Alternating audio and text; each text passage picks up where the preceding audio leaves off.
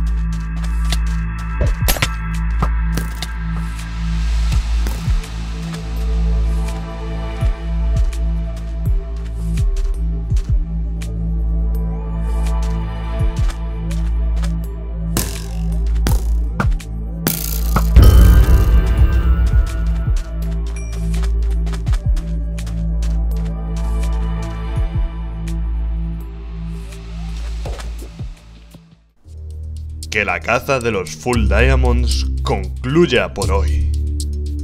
Hasta aquí mis aventuras en estas 5 partidas, un total de 6 horas y media de juego. Sé que es un vídeo distinto debido a que no tiene ningún tipo de comentario. Es más un vídeo representativo de lo que logro cuando juego de la forma más profesional posible. Ni mucho menos estas son mis mejores partidas, pero sí son mis partidas más humanas, os lo garantizo.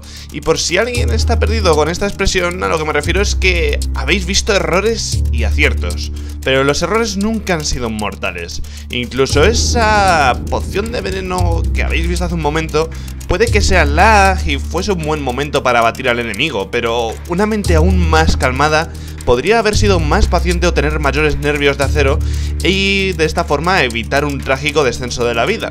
E incluso tras eso me abrí camino entre las sombras para alcanzar la victoria. Un jugador nunca ha de buscar la victoria, la victoria le ha de llegar a él. Lo que os he traído hoy no es más que poneros un poco de miel en los labios. Tengo terabytes lleno de mis mejores partidas de PvP, con más gente, partidas de 5 vs 5, partidas con gente que aún no conocéis, o con amigos como los señores KKK. Os pido por favor que si os ha gustado el vídeo, de corazón me dejéis una crítica constructiva y de forma educada y amable y amigable, de buen rollo, como ya sabéis que andamos siempre por aquí, y un like. De esta forma, os traeré otro episodio más pronto. Para más información, leed la descripción. Espero que os haya encantado este episodio y hasta otra. Poison is love, poison is life.